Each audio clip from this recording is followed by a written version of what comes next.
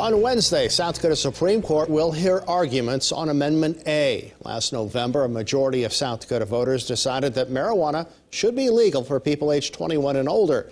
But less than a month later, that vote was challenged in circuit court, arguing the route Amendment A took to get to the ballot was invalid.